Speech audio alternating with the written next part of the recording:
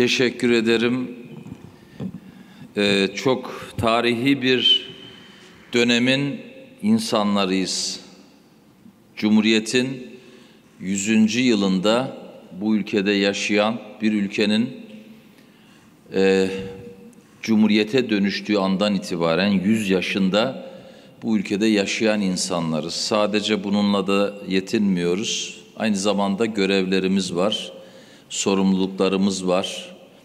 Dolayısıyla ben şahsen kendimi böyle bir dönemde görev alan bir insan olarak en üst seviyede sorumlu, sorumluluklarını yerine getirme konusunda bir mecburi hizmet gibi sürece bakan, aynı zamanda kararlı bir kişilik olarak tarifliyorum.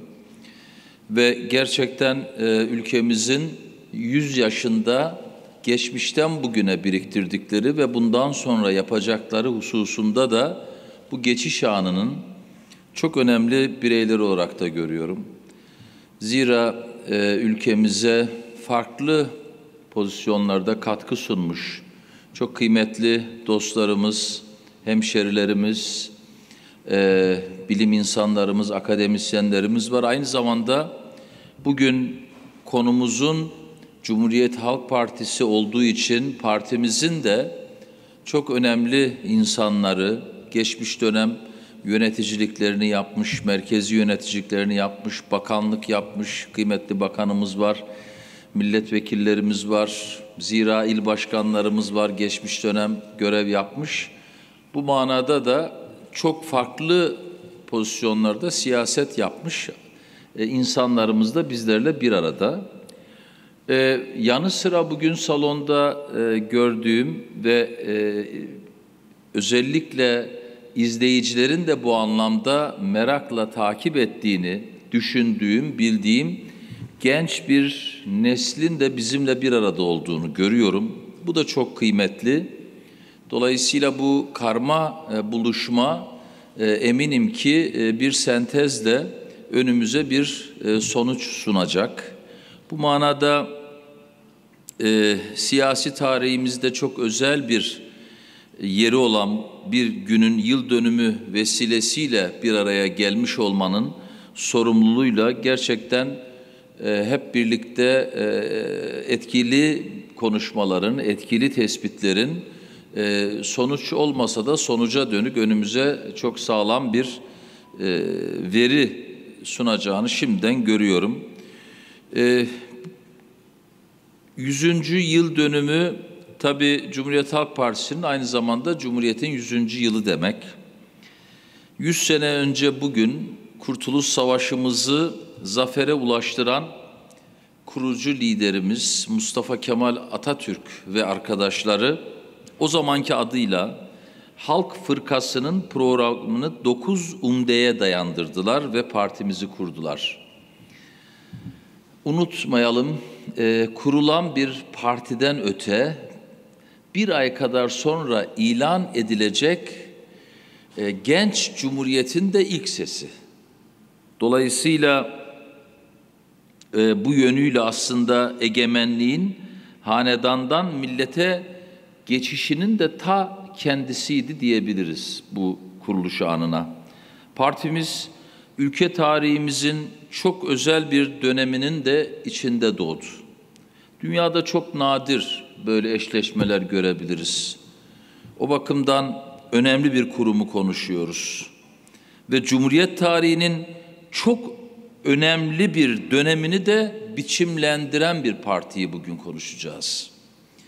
Öyle ki 1918 ile 1923 arasında küllerinden yeniden hep birlikte doğduğumuz o beş sene ve özellikle 1923 yani Cumhuriyet'in kuruluşuyla 1946 arasındaki neredeyse çeyrek asırlık Cumhuriyet Halk Partisi'ni anmadan anlaşılamaz ve anlatılamaz. Bu yönüyle çok iyi kavramalı ve bu dönemi iyi anlamalıyız. Malum Cumhuriyet Halk Partisi'nin kökleri 1918 sonrasının büyük olaylarına, büyük mücadelelere dayanıyor. Sivas Kongresi, Anadolu ve Rumeli Müdafaa-i Hukuk Cemiyetleri, Büyük Millet Meclisi, Kurtuluş Savaşımız ve nihayet e, ilk meclisteki birinci grup.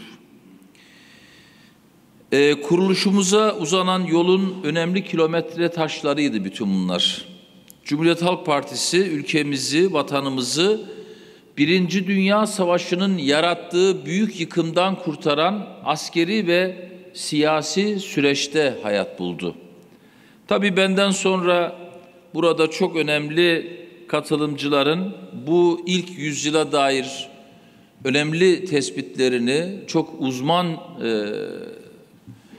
e, gözüyle süreçleri dinleyeceğim elbette. Fakat ben de bugüne dair duygularımı sizinle paylaşmayı bir borç biliyorum. Bu manada benim de gözümden bu geçen yüzyılın içindeki önemli bölümleri tariflemem ve ardından bir tespiti sizin huzurunuzda ifade etmem gerektiğini düşünüyorum Cumhuriyet Halk Partisi'nin 100. yılında.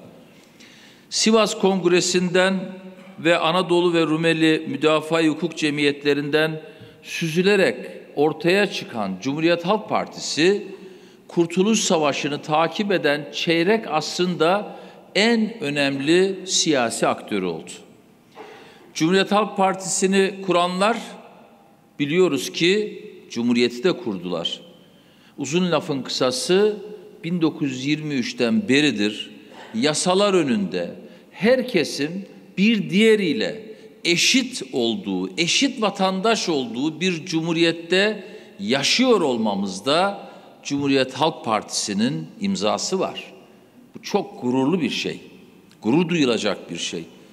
Millet iradesine dayanan bir devletin ve vatandaşlık esasına dayalı bir milletin inşa edilmesinde de Cumhuriyet Halk Partisi'nin imzası var. Cumhuriyet Halk Partisi'ni ve Cumhuriyeti kuranlar devleti gerçek anlamda güçlendirmenin en temel yolunun özellikle güçlü ve milli bir ekonomi yaratmak ve toplumun refahını yükseltmek olduğunu gayet iyi biliyorlardı. 1923'te daha Cumhuriyet yeni kurulduğunda İzmir İktisat Kongresi'ni yaparak ki daha kurulmadan önce başlayan bir süreç. 1929'da ise dünya ekonomik krizine anında ve doğru tepki vererek milli bir ekonomiyi oluşturdular ve kurdular. O günün koşullarında mucize sayılabilecek bir şeyi gerçekleştirdiler. Ülkede sermayenin çok ama çok kıt olduğu koşullara rağmen altyapı çalışmalarını, ulaşım altyapısını oluşturdular ve temel ihtiyaçlarının üretimi için fabrikalar, bankalar, ekonomik teşekkülleri kurdular. Hem de bütün Türkiye coğrafyasına yaygın bir biçimde. Bu bir güçlü bir tarif eğer altına yazmak gerekirse bu bir sıçrayarak kalkınma hamlesiydi. Tam anlamıyla bir ulus için çağ atlamaydı dünya milletlerine sadece bağımsızlık mücadelemizde değil, aynı zamanda ekonomik, toplumsal ve idari alanlardaki devrimciliğimizle de ilham kaynağı olduk. İki dünya savaşı arasında bu topraklarda yaşananlar bu partinin vizyon ve uygulamalarıyla liderlik ettiği dünyanın en devrimci ilerlemelerinden birisiydi. Cumhuriyet tarihimizde yalnızca ne yazık ki bir kez yapabildiğimiz ve şimdi yeniden yapmak zorunda olduğumuz çok ama çok büyük bir hamleydi. Bu tarihin önemli tarihin bu devletin, bu milletin işte evlatları olarak bu çağın başlangıcında da yeni yüzyılın başlangıcında da sorumluluğumuzun çok büyük olduğunu hepimizin bilmesi lazım. O bakımdan tarihin o büyük zorlukları altında yapılanlar sayesinde ülkemizle dünyanın güçlü ve gelişmiş ülkeleri arasındaki fark bu vesileyle azalmış oldu. Ülkemiz dünya siyasetinde bağımsız bir ülke olarak yerini aldı. Yalnızca büyük sıçramayı değil, aynı zamanda çok partili demokratik rejime geçişi de Cumhuriyet Halk Partisi sağladı. İkinci Dünya Savaşı'nın o vahşi dehşetinden ve yarattığı büyük yıkımdan da Cumhuriyet Halk Partisi yönetiminin sayesinde uzak durabildik. Çok tarihi bir duruştur. 80 milyon kişinin öldüğü o büyük global yıkımdan Cumhuriyet Halk Partisi yönetiminin diplomatik ferasetiyle hasarsız çıkmayı milletçe başardık. Cumhuriyetin ilk çeyrek asrın her anına damgasını vuran Cumhuriyet Halk Partisi 1950'den sonra iktidarda olmadığı dönemlerde de ülke siyasetine yön vermeye devam etti. 1970'lerde dünyada yükselen eşitlik ve özgürlük dalgasının ülkemizde ortanın solu konumlandırmasıyla sosyal demokrasi anlayışı olarak tecelli etmesinde yine Cumhuriyet Halk Partisi'nin imzası var. Yine 1970'lerde toprak işleyenin, su kullananın, ne ezilen ne ezen, halkça düzen diyen Cumhuriyet Halk Partisi oldu. Yine 1970'lerde Milli Selamet Partisi ile koalisyon kurarak farklı toplum kesimlerinin aynı ideal etrafında buluşabileceğini, ulusal meselelerde ayrışma yerine birleşmenin mümkün olabileceğini de bu ülkede Cumhuriyet Halk Partisi gösterdi.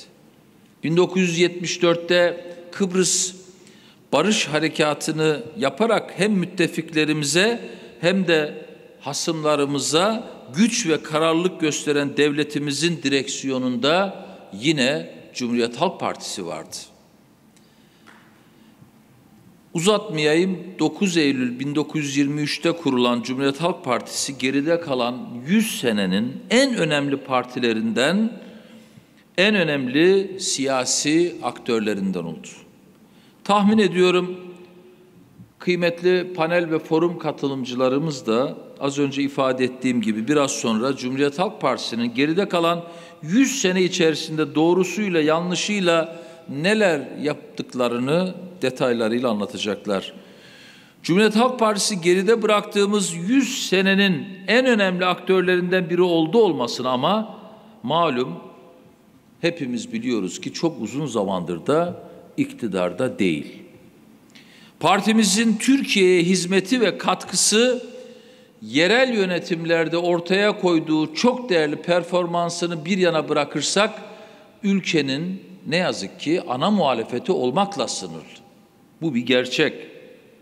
Fakat gel gelelim deyim yerindeyse Yavuz hırsız çoğu zaman ne yazık ki ev sahibini bastırıyor.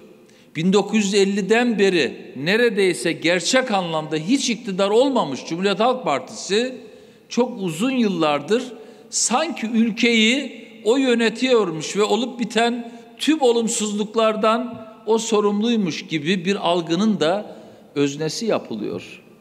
Bunda da Cumhuriyet Halk Partili olarak kusurluyuz aslında. Mensubu olmaktan gurur duyduğum Cumhuriyet Halk Partisi'nin bu durumu üzerine düşünce üretmemiz, düşünmemiz ve hep beraber bu durumu değiştirmenin yollarını bulmamız gerekiyor. Bu toplantının buna vesile olacağına ve katkı sunacağına yürekten e, inanıyorum. Panel ve forumumuzun kıymetli katılımcılarının bu konuda bize ilham vereceklerine ve bizi bu konuda üzerine etraflıca düşünmeye sevk edeceklerine de eminim. İzninizle kıymetli katılımcılarımız dinlemeye geçmeden önce dediğim gibi bu konudaki kişisel kanaatlerimi sizinle paylaşmak istiyorum. Naçizane kanaatim şu. Cumhuriyet Halk Partisi son 43 yıldır zihni ve fiili bir değişememe sorunu yaşıyor. 1980'den bugüne dünya ve Türkiye muazzam biçimde değişirken bu değişime ayak uyduramayan Cumhuriyet Halk Partisi olarak kendisini adeta ebedi ve ezeli muhalefet partisi konumuna oturttu ve hapsetti. Halbuki 600 yıllık bir imparatorluk çökerken 1923 şartlarında dünyanın en devrimci hareketlerinden birini yaratıp doğrusunu yapanların partisi olarak kurulan Cumhuriyet Halk Partisi 1960'larda ve 70'lerde dünyanın ve Türkiye'nin değişimine ayak uydurarak da doğruyu yapmıştı. Ne var ki 1980'den sonra bir sorun yaşadık ve aynı kabiliyeti gösteremedik. Dünya ve Türkiye değişirken Cumhuriyet Halk Partisi bir atalete düştü. Geçmişteki başarılarıyla avunduk. Elbette gurur duyuyoruz ama avunamayız ve sadece o başarıları savunan bir noktaya geriledik. Geçmişi konuşmak, geçmişle avunmak bir Cumhuriyet Halk Partisi'ne, devrimci bir partinin evlatları olarak bizlere yakışmaz. Bizim geleceğe umut taşımamız lazım. Onun için ne yazık ki atalete düşmemizin maliyeti büyük oldu. Sadece Cumhuriyet Halk Partililere maliyeti olmadı. Türkiye'nin yönetilmesinde etkin olamadığımız gibi Türkiye'yi adım adım arzu etmediğimiz Cumhuriyetin ve demokrasinin uzağında ne yazık ki otoriter bir düzene ve bir sürece hatta bir iktidara teslim ettik. Birbiri peşi sıra iş başına gelen iktidarlar gelir dağılımını bozdu. Cumhuriyetin en önemli gücü ve dayanağı olan yetenekli ve girişimci kitlesini tabiriyle orta direği eritti hatta yok etti diyebileceğimiz seviyeye indirdi. Bugün toplumun yüzde onu eğer ulusal zenginliğin yüzde yetmişine sahip ise ve bu noktaya geldiyse bunda bizim büyük kusurumuz var. Emeğin asli temsilcisi olduğumuzu her yerde iddia ediyoruz ki sosyal demokrasi temsilinin böyle bir şartı vardır. Cumhuriyet Halk Partisi'nin iktidar olamayışının bedeli işte halkımıza ve milletimize bu denli ağır olduğunu düşünüyorum. Yani sorumluluğu iktidara yük edecek bir anlayıştan farklı düşünen birisi olarak iktidar olmayı başaramamış isek o suçun bir ölçüde ortağı da biziz demektir. Atalete düştüğümüz değişimi başaramadığımız için, ataletin içerisinde kaldığımız için, kuruluşunda bu kadar büyük bir rol oynadığımız Cumhuriyet'in ikinci yüzyılına köklü kurumları zayıflamış bir devletle, işlevsizleşmiş bir meclisle, beceri kaybına uğramış bir bürokrasiyle, ne yazık ki liyakat sorunu yaşayan bir bürokrasiyle, çökmüş bir adalet sistemiyle, demokratik dünyadan uzaklaşmış bir ülke konumuyla yarısı yoksulluk sınırının altında bir nüfusla giriyoruz. Bir de bunun yanı sıra vatandaşlarımızı yerli ve milli olanlar ve olmayanlar diye ayrıştıran, muhalefete tahammülsüz, hukuku paramparça etmiş, ne yazık ki eğitim en sorunlu hale gelmiş, toplumun büyük bir kesimi tarafından eğitimin çökertildiği düşüncesi altında olan, borç batağına batırdığı ülkemize eşi daha önce görülmemiş bir hayat pahalılığı yaşatan bir iktidarla girer durumdayız Cumhuriyetimizin ikinci yüzyılına. Ancak şunu da eklemem lazım. Cumhuriyetimizin ikinci yüzyılına sadece vatandaşlarını ayrıştıran, adaleti ne yazık ki bir iktidarın silah haline getiren baskıcı tavırlar, ne yazık ki ehliyet sorunu yaşayan, beceri sorunu yaşayan, az önce ifade ettiğim gibi demokrasiden uzaklaşan bir iktidarla girmiyoruz. Başka bir sorunumuz daha var. Vatandaşlarımıza iktidarın değişebileceği inancını veremeyen bir muhalif dünyayı var eden muhalefetle ve ne yazık ki bunun ana unsuru olan Cumhuriyet Halk Partisi olarak bizler bu umudu veremeyen bir kurum olarak böyle bir muhalefetle de giriyoruz Cumhuriyetimizin ikinci yüzyılına. O bakımdan iktidarın değişebileceğine inancın çok azaldığı bir toplumsal ruh haliyle girdiğimizde unutmayalım. Bu, bu en kötü durum. İktidarın değişebileceğine inanmayan bir toplumsal ruh haliyle sürecin geçtiğini ve ikinci yüzyıla öyle adım attığımızda görmeli ve yüzleşmeliyiz. Ben açık ve net söylüyorum. Ben bu hali kabullenemiyorum. Kabullenemeyiz de. Ülkemin de benim partimin de bundan daha iyisini yapabileceğine o kadar büyük bir inancım var ki ki tüm kalbimle inanıyorum. Cumhuriyet Halk Partisi'nin de Türkiye'nin de değişeceğine yürekten inanıyorum. Çünkü Cumhuriyet Halk Partisi değişirse Türkiye değişir. En çok da buna inanıyorum. Cumhuriyet Halk Partisi'nin bu duruma katkısıyla hep birlikte yüzleşmek zorundayız. Özellikle Cumhuriyet Halk Partiler adına konuşuyorum. Bu güzel ülkeye karşı tarih için huzurunda hep birlikte sorumluyuz. Ve ben partimin bundan daha iyisini yapabileceğine tüm kalbimle inanıyorum. O bakımdan Cumhuriyet Halk Partisi'nin de Türkiye'nin de çok daha güçlü bir ikinci yüzyıla girebileceğini ve değişebileceğine inancım tam. Neyin değişmesi gerektiğine ilişkin de tabii ki değerli katkılarını birazdan burada dinleyeceğimiz çok kıymetli misafirlerimiz var. Ama ben de görüşlerimi sizlerle paylaşmak istiyorum. Cumhuriyet Halk Partisi değişiminin iki ekseni, iki esas boyutu olmalı. Partinin hem vizyonu hem de işleyişi değişmeli. Parti işleyişindeki değişimin nasıl olması gerektiğine dair düşüncelerimi başka vesilelerle çoğunluğu parti içi toplantılı olmak üzere orada paylaşabilirim. Bu toplantıda Cumhuriyet Halk Partisi'nin yeni vizyonun ne olması gerektiğine daha yoğun bir şekilde odaklanmak istiyorum. Bir çırpıda söyleyeyim. Değişimin yeni vizyonu Cumhuriyet Halk Partisi'ni dünya ölçeğinde ideolojik politik bir kriz yaşayan sosyal demokrasiye ilham veren, küresel seviyede saygın ve güçlü bir parti haline getirmek olmalıdır.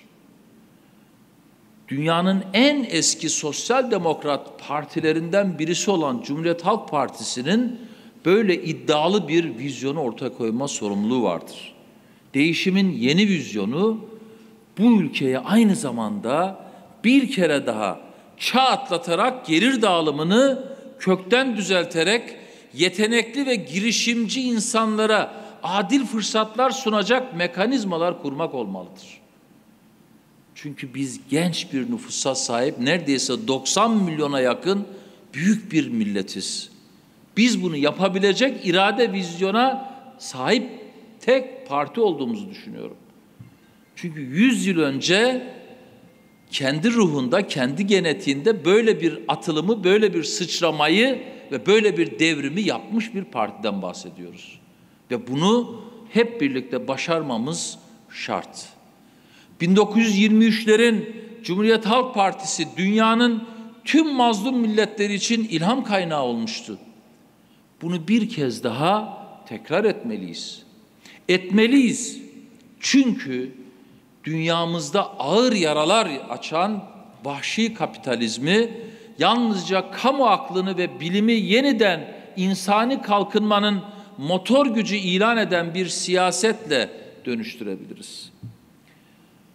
Krizle sarsılıyor ve dünyanın hızlı ilerleyişi karşısında ne yazık ki ülke olarak, millet olarak biraz daha geride kalıyoruz. Hatta üzüntüyle söylüyorum ki biz bu gidişe dur demez isek,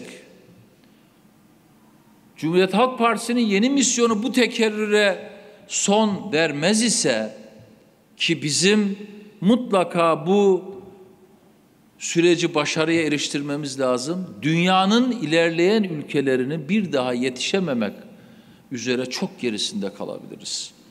Cumhuriyet Halk Partisi bu tekerrürü kırmak ve buna bir son vermek için mutlak bir değişim göstermek, bir dönüşüm göstermek zorundadır.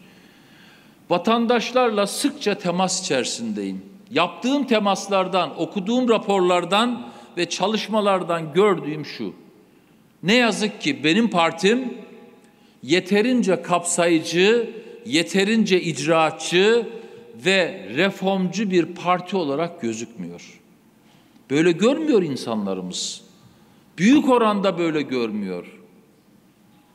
1950'den beri iktidar olamadığımızdan ve 1980'den sonra da kendimizi ne yazık ki sürece dair, beklentilere dair yenileyemediğimizden vatandaşlarımızın önemli bir kısmı bizim icracı bir ekibe sahip olmadığımızı düşünüyor.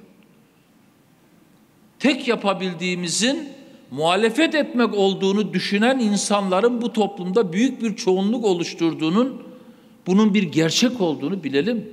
Vatandaş böyle düşünüyor. Nerede eksiğimiz var bizim? Vatandaşlarımızın ne yazık ki çok az konuda Cumhuriyet Halk Partisi bu işi daha iyi yapar diye düşündüğünü gözlemliyoruz. Sosyolojik altlık olarak insanlarımızı gruplandırıp sınıflandırıp bu bizim hatamız değil ki canım diyemeyiz. Artık vatandaşlarımızın karşısına başka sözlerle çıkmak zorundayız. Kapıları sonuna kadar açık, kapsayıcı, reformcu ve icraatçı bir siyasetle çıkmamız şart. Değişimin temeli Türkiye'yi sıçrayarak kalkındıracak bir planı, güçlü bir planı, insanlarını seferber eden bir planı ortaya koymaktır.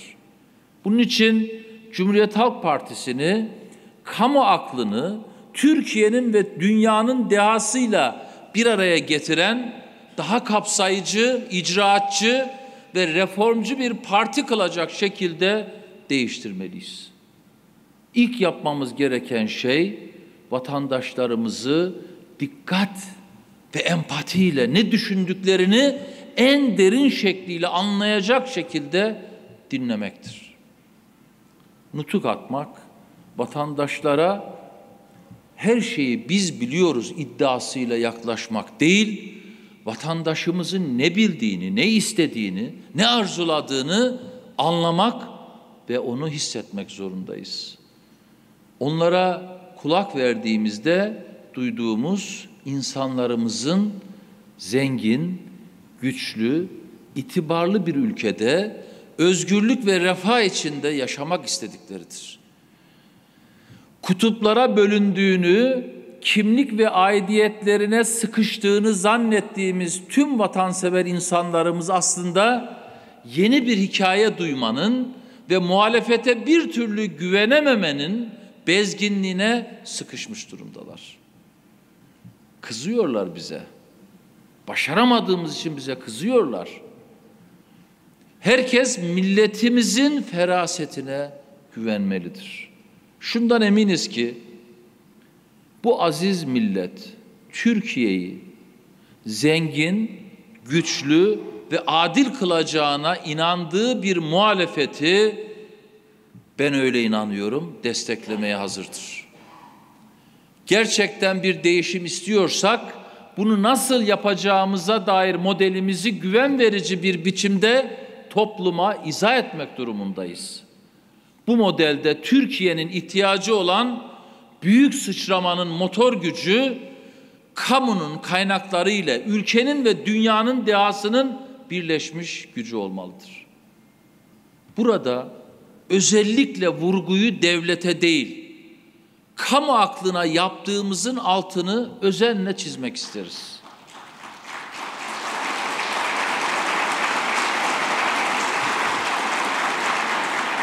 Zira biz milleti milleti devletin üstünde onun sahibi olarak görüyoruz. Kamu aklını devleti de içine alan milletin bütününün ortak aklı olarak anlıyoruz. Öte yandan bu noktada bir olmazsa olmazın altını da çizmek zorundayım. Değerli dostlar, kıymetli katılımcılar, zengin olmayanın gücü olmaz. Doğru. Ama adaleti olmayanın gücü de zulüme çıkar. Bu sebeple zengin, demokratik, güçlü ve adil bir ülkenin vazgeçilmesi nedir? Eşit yurttaşlıktır. Eşit hissedarlıktır. Bu memleketin her karış toprağına eşit hak sahibi olduğunu bilen, hisseden ve yaşayan 86 milyon insanının varlığıdır. Değişim bahsinde bununla beraber diğer önemli bir mesele aynı zamanda Cumhuriyet Halk Partisi'nin politika üretme yönetimine dairdir. İnsanlarımızın beklentilerini ve taleplerini sorgulamayan, kulağını millete vermeyen, kendi doğrusunu millete dayatan politika yapma alışkanlıklarımızı değiştirmek zorundayız.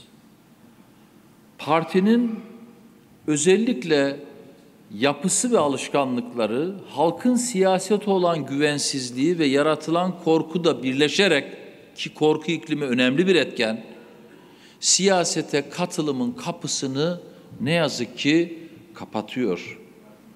Oysa ki bugün toplumsal muhalefetin büyük katkısına ve yepyeni bir insan kaynağına her zamankinden daha fazla ihtiyacımız var.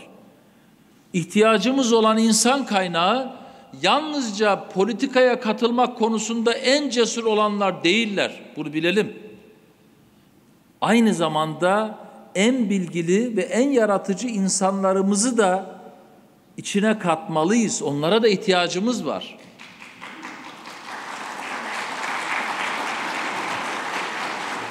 Partinin kapısının bu insanlarımıza açılması, onların katılımının teşvik edilmesi şarttır. Buna bir metot ve yol bulmalıyız. Cumhuriyet Halk Partisi Türkiye'nin en yaratıcı zihinlerinin tüm yenilikçi projelerinin ilk adresi olmalı. Onlara kapılarını ardına kadar açmalı, onları önemsediğini hissettirmeli. Bu sadece kişisel tavırla değil, uygulamasıyla, prensipleriyle, ortaya koyacağı kurallarıyla net olarak ifade edilmeli ve hissettirilmelidir. Bunu başarmanın e, bunu başarmanın şart olduğunu unutmayalım. Bunu başaramayan Cumhuriyet Halk Partisi'nin iktidar şansı olmadığını da unutmayalım. Bütün bunların her bir adımı, her bir hususu çok önemli. Elbette benim düşüncelerime şunları da eklemeliyiz, bunları da eklemeliyiz diye aramızda düşünen özellikle genç, pırıl pırıl insanlarımız olduğunu farkındayım. Bakın tüm kötülük ve olumsuzlukların anası olan bir meselemiz daha var. Onu da ortaya koymamız lazım. Çok büyük bir realite. Türkiye'miz hepimiz biliyoruz ki derin bir fakirlikle boğuşuyor. Bakın 200 yıl önce kişi başı düşen milli gelir açısından bu ülke topraklarında yaşayan insanlar neredeyse Almanya ile eşittik. 200 yıl sonra Almanya ile aramızdaki fark altı katına çıktı. Ve sakın şöyle düşünmeyelim. Bir tarihe dönüp bakalım 200 yıl içinde Almanya'nın başına neler neler gelmiş. Bizim de başımıza geldi. Yani ayrı dünyalarda yaşayan iki devletten bahsetmiyoruz. Amerika Birleşik Devletleri ile aramızdaki fark yedi katına çıkmış. Bakın son 21 yılı analiz edelim. Ülkeyi yönetenler açısından baktığımızda bütün koşullar on numara. Ülkeyi yönetenler iktidar anlamında baktığımızda istikrar koşulları altında yönetildiğini ifade ediyorlar. İstikrarsa istikrar var. İktidarsa iktidar var.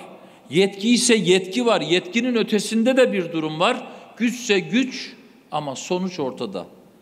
Biz ne yazık ki gerilemeye, fakirleşmeye, yoksullaşmaya, paramızın pul olduğu bir döneme doğru gidiyoruz. Yani bizi ziyadesiyle fena halde kıskananlar ise ne yazık ki farkı açarak fersah fersah ileriye gidiyorlar. Gelecek ağır bir beka sorununa işaret ediyor bu durum. Çok ciddi bir beka sorunuyla karşı karşıyayız. Batı ile aramızdaki fark gitgide bir uçuruma dönüşüyor. Bizim ıskaladığımız baş döndüren bilimsel gelişmelerin sonuçları bize şunu gösteriyor. Eğer hep birlikte milletçe harekete geçmezsek milli gelir açısından Batı ile aramızdaki fark bugünün iki katına hızlıca çıkabilir. Aramızda böyle bir farkın oluşmasına eğer bizler müsaade edersek, bu kabiliyeti ortaya koyamazsak, Türkiye küresel seviyede kendine yeten onurlu devletler ligine tutunmakta çok büyük zorluk içine düşer. İşte tam da beka sorunu dediğim gibi bu. Kendilerinin dışındakileri gayrimilli ilan etmeye çok meraklı olan ve ağızlarından beka sorunu düşürmeyenlerin dikkatini bu anlamda buraya çekmek isterim. Asıl beka sorunu çocuklarımızın, gençlerimizin bu duruma düşürüldüğü bir ülke durumudur. Ya yeniden sıçrayıp bu ülkeye bir kez daha çağ atlayarak en kısa sürede onlara yetişeceğiz, o yolculuğu tarifleyeceğiz, o stratejiyi bu toplumun önüne koyacağız ya da gelecekteki bekamızı korumakta çok büyük bir zorluk çekeceğiz. Ya değişerek yeni bir ilerlemenin asli motoru olacağız ya da aynı ataletle ne yazık ki yerimizde sayacağız. Türkiye'nin sıçrayarak kalkınması bahsinde özellikle ileride yapacağımız birçok buluşmada, çalışmada ve konuşmalarda çok detaylı süreçleri hepinizin huzurunda paylaşmaya devam edeceğiz ve bunları anlatacağız. Şimdi şunu söylemekle yetineyim.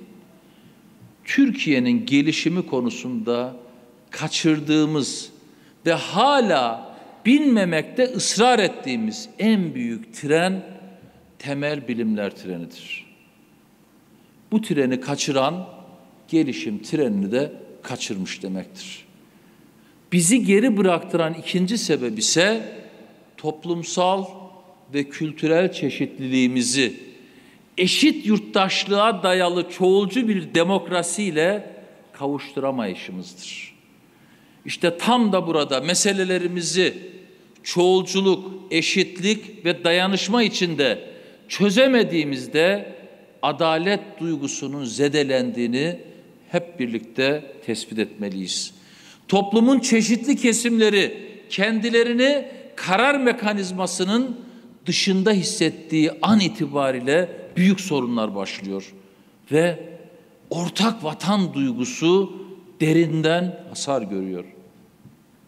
Şimdi bu iki sorunla da eğer hep birlikte olgunlukla yüzleşmek ve çözümleri geliştirmekte gecikirsek bir başka problemi daha derin bir şekilde milletimizin önüne koymuş oluruz.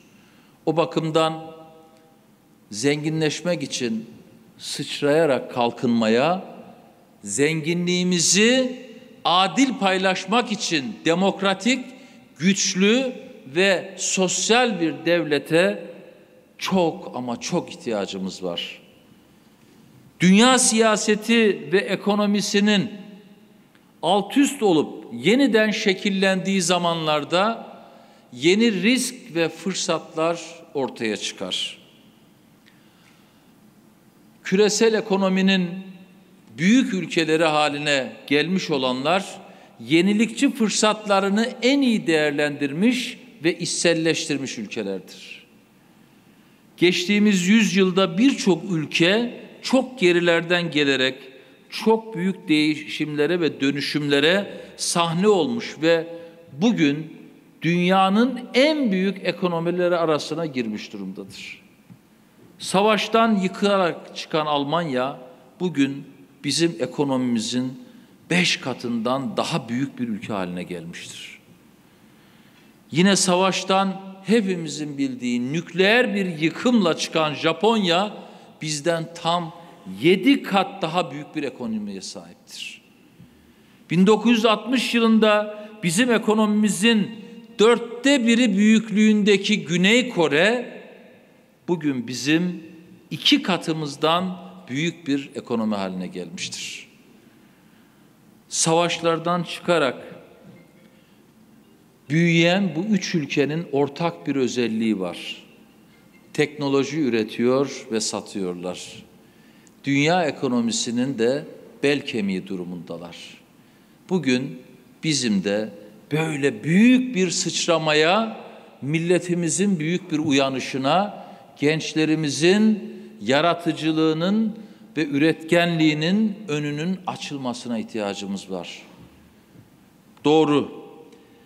Bugün millet Cumhuriyet Halk Partisi ve onun liderliğindeki muhalefete iktidar vizesi vermedi. Ancak başka bir doğru daha var. Bu millet Türkiye'yi sıçratarak zenginleştirecek, güçlü ve adil bir Türkiye'yi inşa edecek bir muhalefeti gördüğünde ben yürekten inanıyor ve biliyorum ki tereddüt etmeden iktidara taşıyacaktır. İşte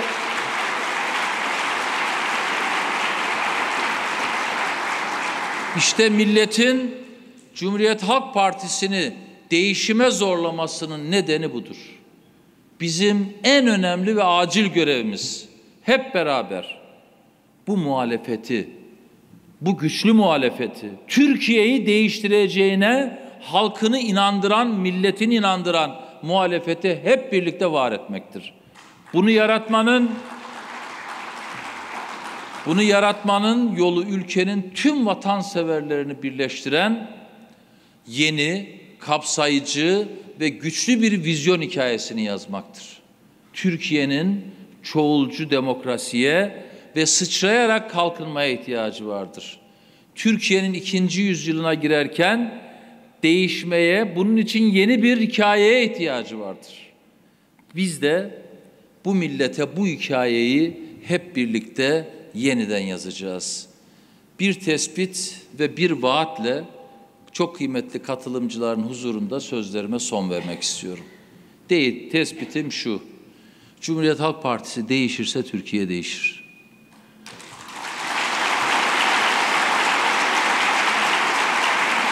Vaadimde net. Cumhuriyet Halk Partisi değişecek ve Türkiye değişecek. Hepinizi sevgiyle, saygıyla selamlıyorum.